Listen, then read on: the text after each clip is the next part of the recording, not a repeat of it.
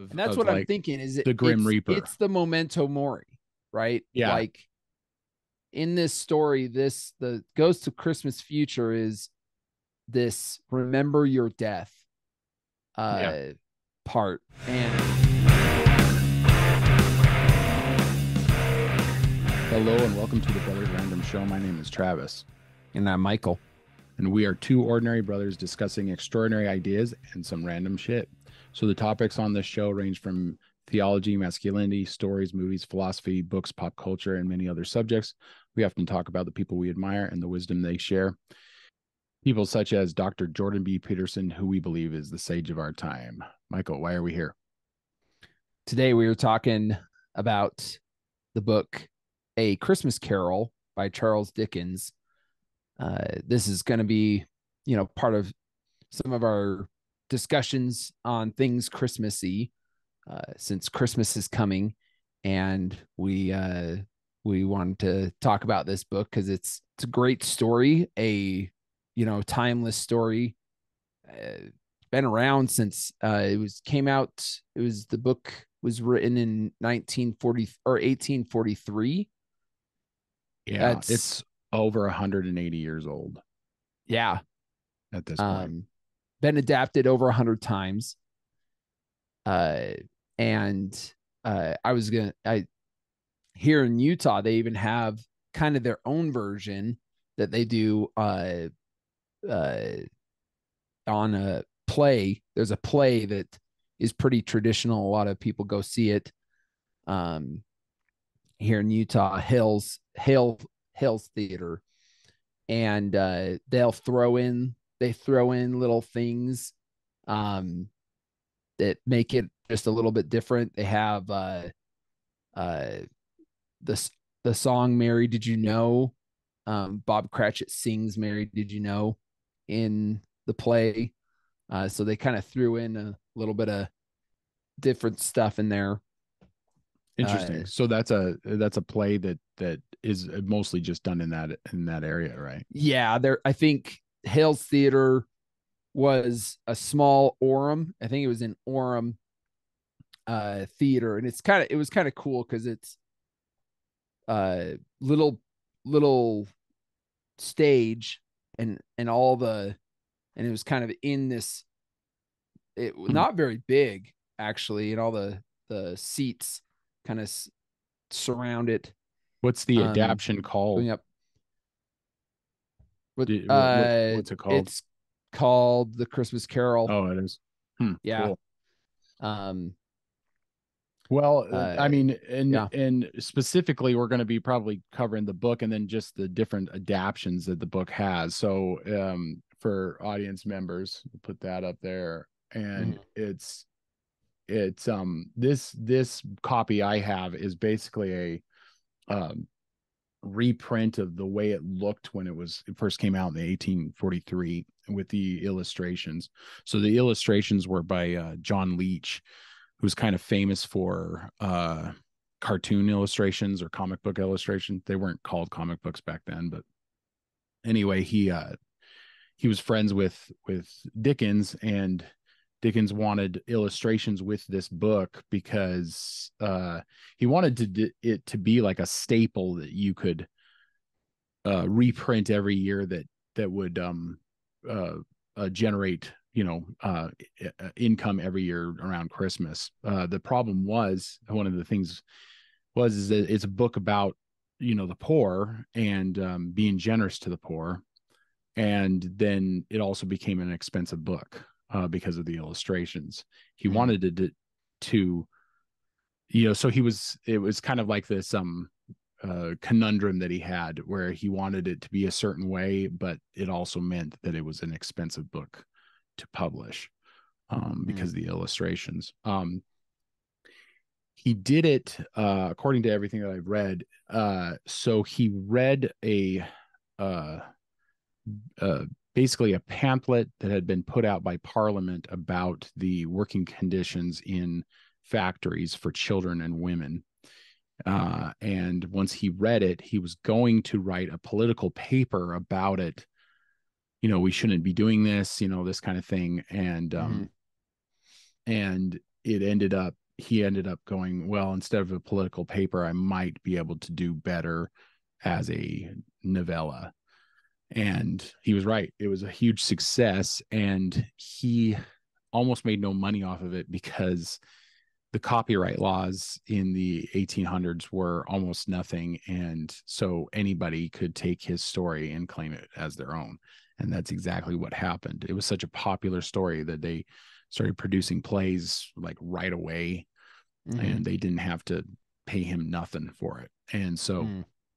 Even though it became one of his most popular works he mo- almost made nothing off of it it was also one of his most popular reads. He was kind of a famous famous for his public readings, and that's where he really made his money, as he toured and he went came to the he United States.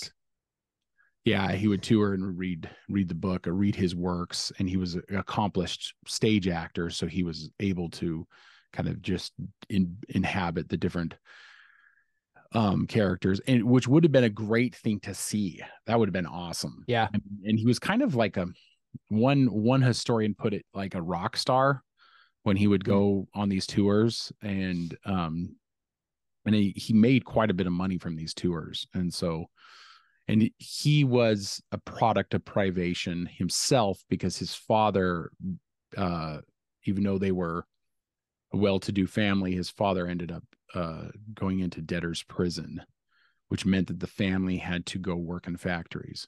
So he knew what it was like to try to, and pay off his debt. Yeah. So yeah. Uh, indentured indentured servitude was a big thing at that time. Yes. Um, the the industrial the industrial revolution was going on in England at the time. And so factories were just sprouting up everywhere. They were um and what was happening in the process is that orphans and children of a certain you know um class were being uh basically forced to work um yeah. pretty regularly. So anyway it it it it, it made for a harsh couple of years which is why his his books mostly deal with the wealth disparity essentially um like Oliver Twist um is about wealth disparity. He was also uh he also did um uh Tale of Two Cities, which Tale is Two Cities, which is also was, about the French yeah. Revolution, which was a revolution of of the poor going after the rich. So mm.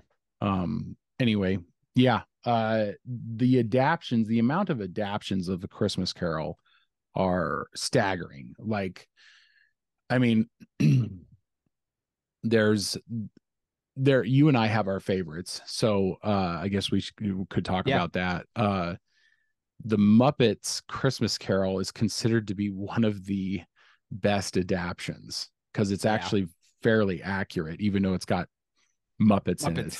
Even though it's got Muppets in it, they they stuck to the story really well. Yeah and yeah. it it's kind of crazy to think that that is probably one of the more uh better versions. Yeah. Um i haven't seen there are there was the one in the 70s that was like the musical. Oh with that, Al, albert finney. Yeah i yeah. haven't seen that one either. Um that that i haven't seen in a really long time. If i did see it it would have been a long, long time ago. When we were kids, probably. Yeah. Yeah. Cause I think mom what I think mom had it and yeah, and we watched it every so often. But uh I remember people dancing on a hearse. And that's about all I remember. right. Uh and uh which which one is the one that had Alec Guinness in it? Uh I don't know. That, I think that, that might have been the that one, musical that one. one. Anyway, that's Albert Finney played uh, Scrooge in that one, I believe, in the in the musical. And, um, and like everybody, like even uh, um, uh, the Star Trek uh, Captain Picard, he played a version of one. Um, oh, yeah, that was like early what nineties? That would nineties probably nineties. The uh, Scrooged with uh, Bill Murray Um, I kind of Oh yeah, thought it that's was an funny. adaptation. Yeah, it's yeah, that's a great one. It's time for your Christmas list. Okay, read me the list. I want to get this over with. Sammy Goldberg, Bath towel. Lou Parker, Send him a VHS home video recorder. Colonel Tom Parker, The bath towel. Tamara Forstall. VHS. but I actually liked Scrooged. Uh, I guess That was despite the nineties end. too. That That's the nineties 80s. one.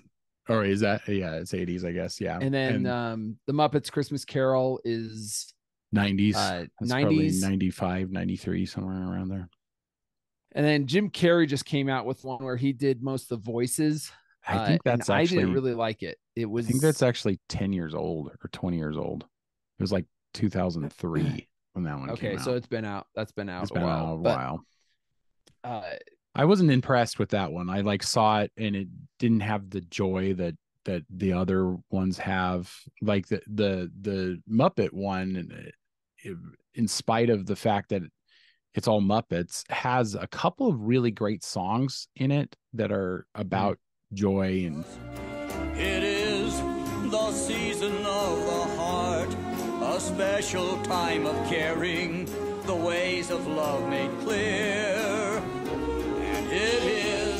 And it is the season of the spirit. The message, if we hear it, is make it last all year. season of giving and all that kind of stuff. So it kind of it kind of even though it has its scary moments, like most of my kids get everybody gets scared by the ghost of Christmas uh uh future because it's because he's essentially a what do you call it, death or he has the death moniker looking, you know, it's a hooded figure and it's always depicted as kind of s- why do you think Charles Dickens did that? Why was Well, he was- uh, future the scary one? Well, because it it was a future that if he didn't change, mm-hmm. that's what would happen. Right. So tiny, tiny oh, spoilers for a 180 year old book, but Tiny Tim will die if he doesn't change. Yeah, He will die if he doesn't change. he will die. And it, and what's worse is he will die without anybody at his funeral. Because there's that because what so so the scene where there's a couple of uh thieves in like Yeah. a dingy area in, in this all ha- like this is all in the book and the, Ch- Dickens used to use his words are poetry like he, he'll use a lot Yeah. of words to explain something but it's always really beautifully written and Right. so he talks about these people being in this slum and they're one of them has stolen like his cufflinks and one of his, uh, ha- them has stolen his bed sheets which were considered to be like a the the you know a sign of wealth is having bed sheets you know Hmm. um and it, it- it's funny because the guy gets him and he's like they're still warm you know and and and they're sell they're selling them to this barterer who essentially uh they and Scrooge the whole time is kind of going who is this poor person?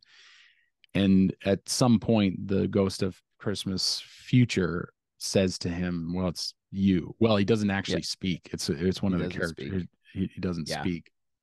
But he did he does show him that it's or points to his gravestone and it's like it's you it's your Yeah, funeral. before we get into the Ghost of Christmas Future, let's kind of walk through it. So Scrooge, not very great guy. Um, you know, he's asked what uh he at the very beginning, he's at his uh money exchange yeah it's counting house exchange. it's a counting house is what it- counting house. So he's an accountant for businesses. well no he's a he's a lender he lends Yeah. so he's bank a bank Yeah. he's a banker essentially Okay. Yeah. No, and so, he he also owns property. So he he uh so he's a landlord. a land, landlord. Okay. And uh some people come in that are looking for donations for for the poor and one of the things he says is that they should die and that the poor should just die and uh decrease the surplus population yeah.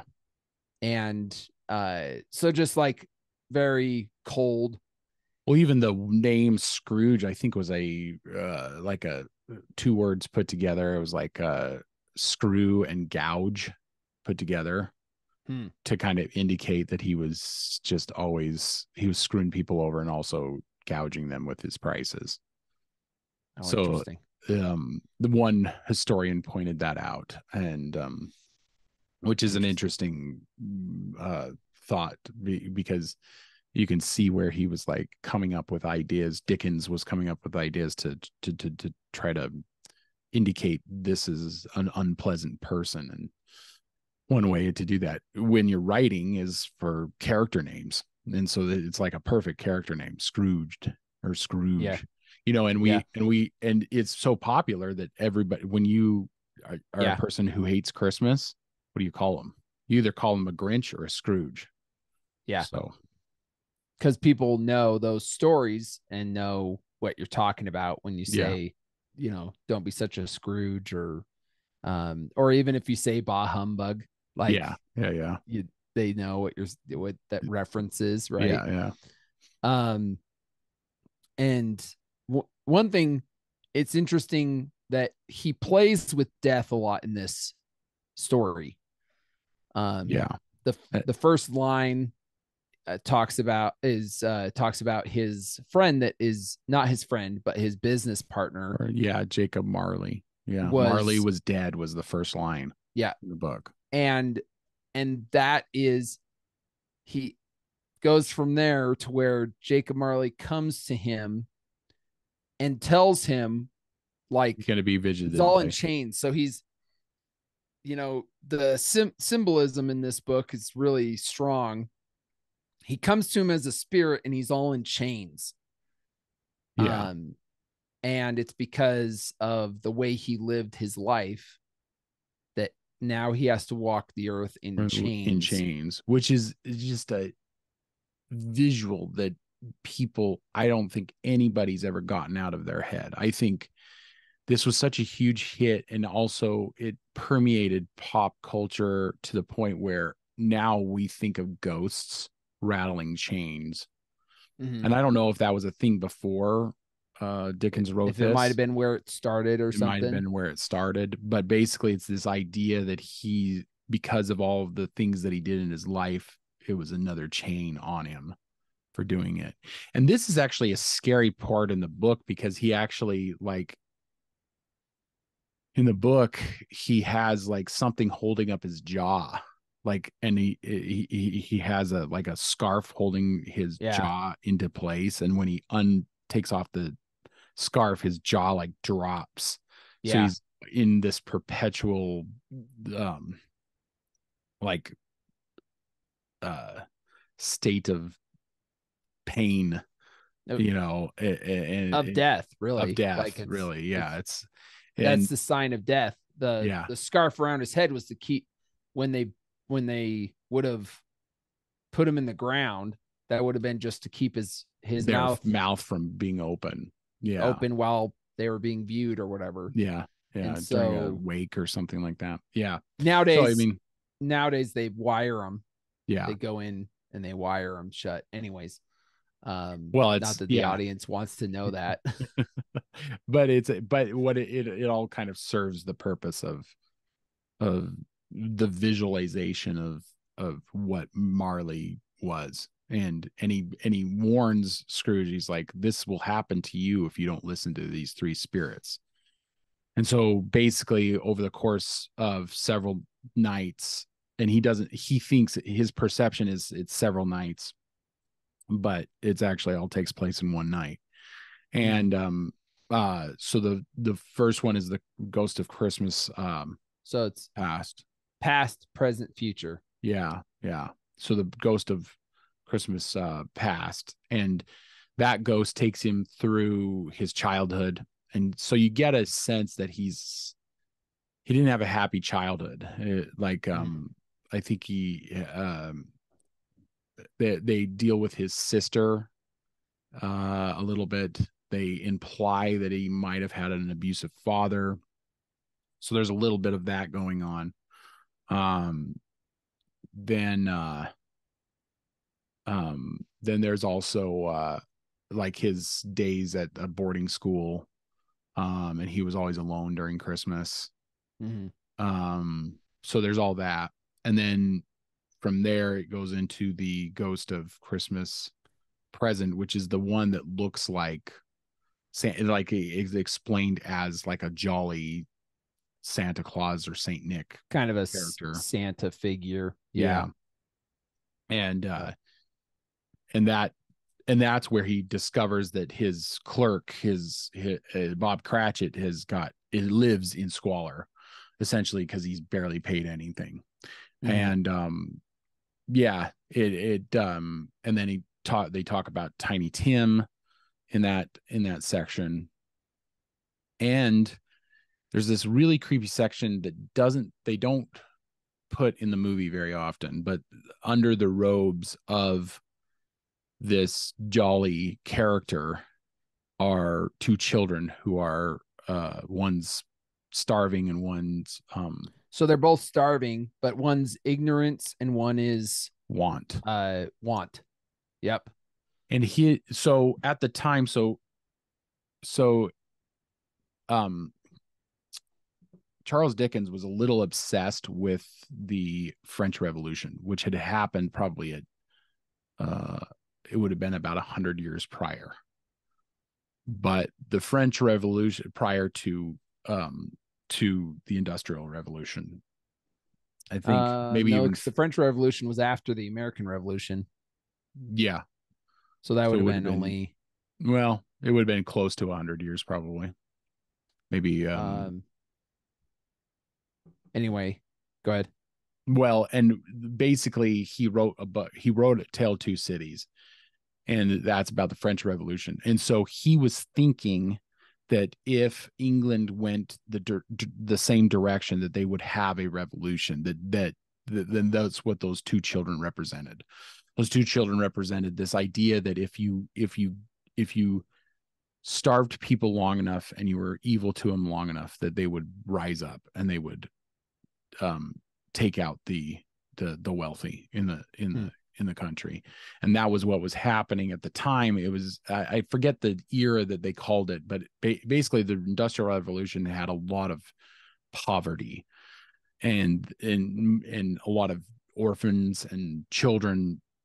And i don't remember what turned it around but at some point england realized that they needed to do do better towards the the homeless and and basically children children um and so what he was thinking when he wrote that i think was that that england might have a moment of revolution because of because of the privation of of so many people in london. And and in well i guess manchester was where all the all the um the factories were at.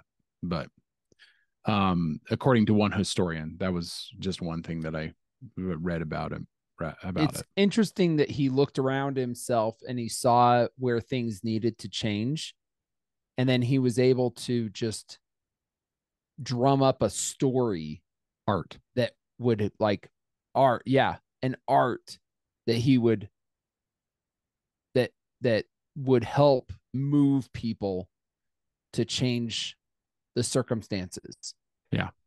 I just Yeah. i find that it's the best probably Brilliant. one of the best uses of art is where you can tell a good story and in the process also try to elicit change what what's happened in our our current society is they don't tell a good story they just try to elicit change so the Mm. story the story is not important to them they just want the change yeah and and that's where where current society is is failing whereas dickens was a real artist. He was a he, he had had several books at this point published. Yeah. um he was he, he was an excellent wordsmith. You know, like his his uh, prose are are very poetic.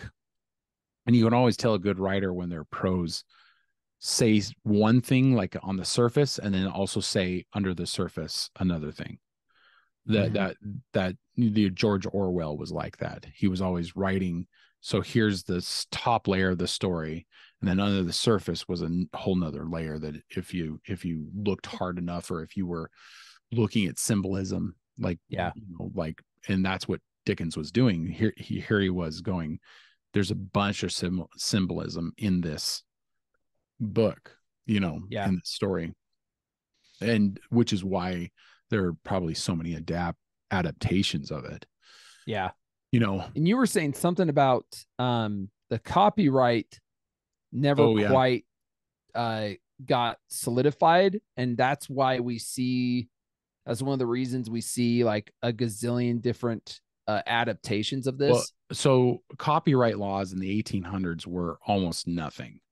and immediately after the, the he, the he released this book, immediately there were people stealing his ideas, and they they even had a stage play that they put on like within like months of him publishing this book. Hmm. And he tried, he tried to use the law. He was like, uh, this is my work. Uh, Yeah. and I came up with this, and people were stealing it and yeah. um but they didn't they didn't have good copyright laws at the time and because of that i don't think we had copyright laws until the 19th until the turn of the century so it'd been it would have been Yeah. several years after his death that they that the copyright would have and see that Try we we talked about out. well we talked about dracula a couple of months ago and they, they had the same uh bram bram stoker had the same problem his widow had to sue a movie company uh for Yeah. producing a movie that without their permission Right. um so this all this stuff happened like and but uh dickens always was trying to do that and it- during the 1800s it just was there wasn't a thing. People did not um care about copyright laws in the Yeah. in the in the 1800s original work was kind of if you put it out it was a free for all it's kind of like the internet nowadays right. right. yeah So uh he goes through uh Christmas past, which sh- kind of shows him uh a lot of things that like good memories, but also bad, where he fell in love and Yeah. that love fell apart because he was so obsessed with money. Um and then and then Christmas present where he kind of that's where he gets a kind of a a feel f- on the pulse of what's going on around him, which was, Mhm. you know, Bob Cratchit and uh uh and his his little boy that is that's is a cripple not doing well, Yeah. right? And um uh uh and also his nephew that despite his always refusing to come to his Christmas parties, et cetera, et cetera, um, still speaks well of him. even though he's not around and he and even though his nephew's wife will speak ill of Mm. Scrooge, the nephew, I noticed the nephew doesn't speak ill of him.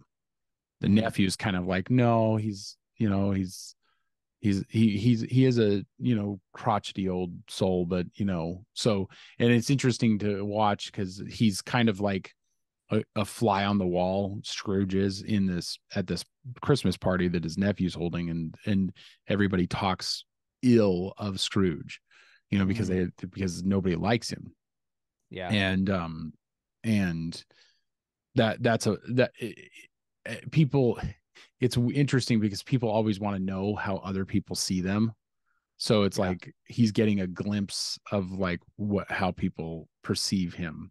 So it is uh it is an interesting uh story trope i guess to to do that. And then he gets and then and then he gets to the scary ghost um Yeah. which would be the um the ghost of christmas uh future and he's explained as a hooded uh character which uh in every adaptation he's kind of the scary character Yeah. um that uh that, that doesn't speak. Uh and then they show his you know i already talked about they show his death and then they also show tiny tim's death as well or burial. So um one of the adaptations that I love is the Mickey one. Uh, Yeah. and I don't remember when that one came out. That would have been probably 83. 83 is when it came out. So Yeah. it it it um it's very like you know it's got all the the disney characters like donald duck and and scrooge duck and uh and then uh goofy but uh one of the heart-wrenching moments in that is when uh scrooge sees mickey at a, a at a graveside and he puts his uh, Tiny Tim's because Mickey plays Cratchit, and so he puts Tiny Tim's um uh crutch on, on the on the gravestone, and it and it's Yeah. Mickey crying, and you don't often see that in any of Disney's old uh cartoons. Hmm. So the the adaptation is actually pretty close itself. Yeah. Um, it's only about 30 minute long. It's easy to find. You can get it on uh um Disney Plus pretty easily. But that's back in the day when they actually made um good stuff. I uh I keep going back to like why why the symbolism of the ghost of Christmas future being scary. I Being a- just I'm trying to wrap my now well, the symbolism is is if he's a formless, like you can't see inside his robe. So he's got long robes and he he reminds you of like death, right? yeah.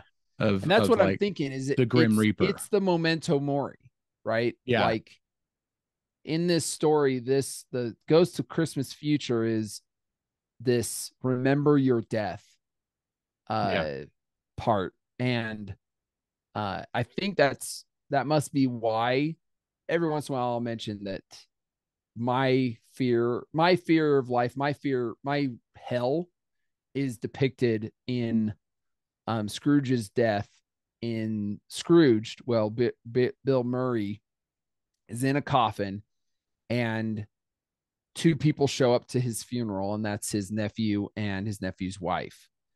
And it's just this dark, gloomy scene that I feel like that's that's hell to me.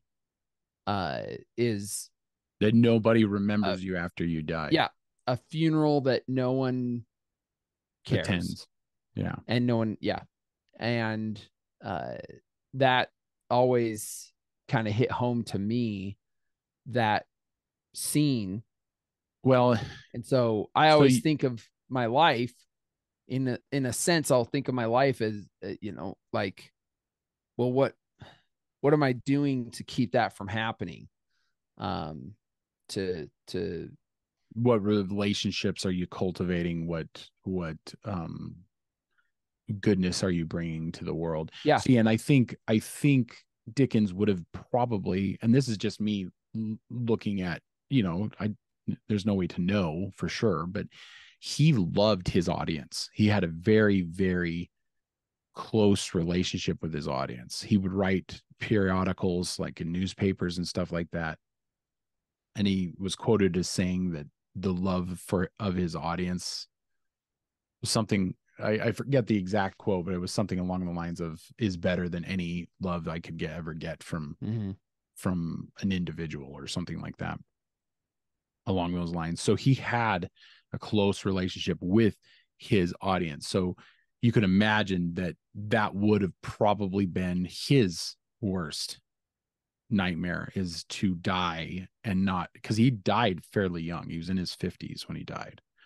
And he you could imagine that he would have had that same fear if he was obsessed with how his audience saw him Hmm. where you know uh what if i die and nobody shows up nobody nobody's there so i think and this might be analyzing this too much but i think there's a little bit of scrooge in in uh dickens Dickens, Dickens and or Yeah. Dickens and Scrooge.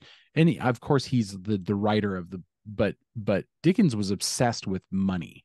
Like he was always looking to make as much money as he could through his writings. And and he was a popular writer, but he was always broke too.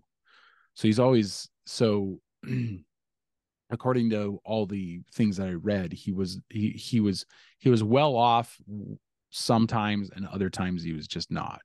And that Mm-hmm. I guess that's the life of a of a writer is like whether or not your last book did well or whether or not your it was a it was a bomb, you know. And so and so and so you could imagine that he was kind of like like Scrooge in the in the sense that uh, you know I'm I need to have money but it maybe his was more of a necessity rather than greed. I don't know. Yeah. Anyway, But- in the story, he he sees that he dies. He sees his gravestone with Ebenezer Scrooge, his name on it, and he asks uh, the uh Ghost of Cur- Christmas Future. He asks, "Are these the things that will be, or the things that may be?" So like he, I mean he starts digging he's like can I change this? This, Is this something yeah. I can change? And uh and then he wakes up to it being Chris Christmas morning and it's all all of this took place in one night. And uh and he realizes he's got a second chance basically. Um and uh and he you know he he goes and and brings food and and things to uh Bob Cratchit. He tells Bob Cratchit that he wants to you know pay him more Yeah, pay him more. Yeah, yeah. and um And there uh and then the book kind of ends with him just saying that this this man became the most joyous most uh, you know kind and generous person out there now and a lot of people think that dickens might have been for socialism and because he wrote so much about the privation of of poor people but i Mhm. think he was a humanist like he just wanted people to be good to each other mhm. and I and that that comes across in Oliver Twist because Oliver Twist is all about cr- criminal, the criminal underworld. Um, Yeah. and and one good soul, you know, among the criminals.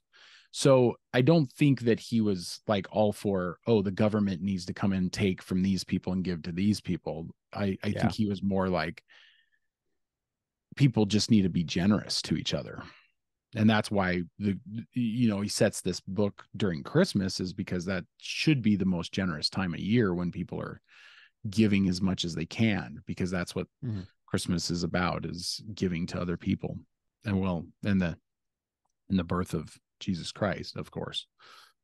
So i mean that that's kind of my interpretation of of of his obsession with the poor and he did have quite an upset like almost all of his books have something to do with the poor Yeah. Uh I love this kind of um it's a it's kind of a deep thought.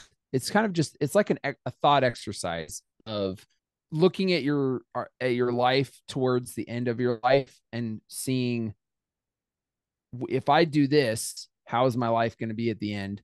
If I if I stay this way, right? How's my life going to be at the end when I and uh and some would even call it like when I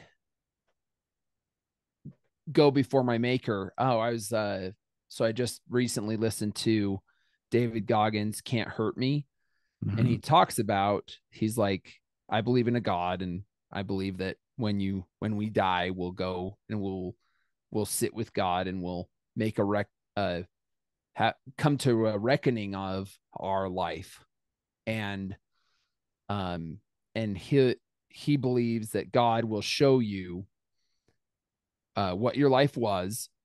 He'll have a notepad or something he'll show Mhm. you what your life was and then he'll show you one that would be what your life could have been had you done these things um and Uh, and that's exactly what basically is happening with To- to Scrooge. Ebenezer Scrooge Yeah. is he's seeing that there's an outcome that I don't want. And I and so he that moves him to change, right? And I think this is the whole behind the whole concept of memento mori, which we've talked about Mhm. before Mhm. but this philosophy of remember your death remember that death is coming and to live the best life that that that, That you you, can. can. to live life with purpose and meaning uh and i think that concept is what dickens was playing with here uh and to to show people to you know take stock in like your life Yeah. and what you you know how how you treat others um yeah that um he he he does seem to be dealing with the memento mori through this especially if he has this deplorable character that he might have identified with a little bit. He might have been like yeah i i think about this a lot. I mean the the just the publication of the book itself was kind of a contradiction. He wanted the poor to buy it every christmas but he also wanted there to be illustrations in it that made it an expensive book. So it's Mhm. like yeah there's a contradiction there right Mhm. so Yeah. uh, uh, I suggest to everybody to read it because it, the prose are are very good. It's a very short book. It's a it's a it's a novella. It's one of his. It's probably his shortest book. I mean the the A Tale of Two Cities is massive. It's a long Yeah. book. So uh, check us out on social media. Uh, we are on Spotify and Apple Podcasts. We're obviously on um, YouTube and um, on X. Uh, at on X. Brothers V Random, not Twitter anymore, but on X. yeah, Go we're gonna have to get used to that. Uh, keep reading, keep listening, keep watching, learn more. We'll see you, brother. See ya.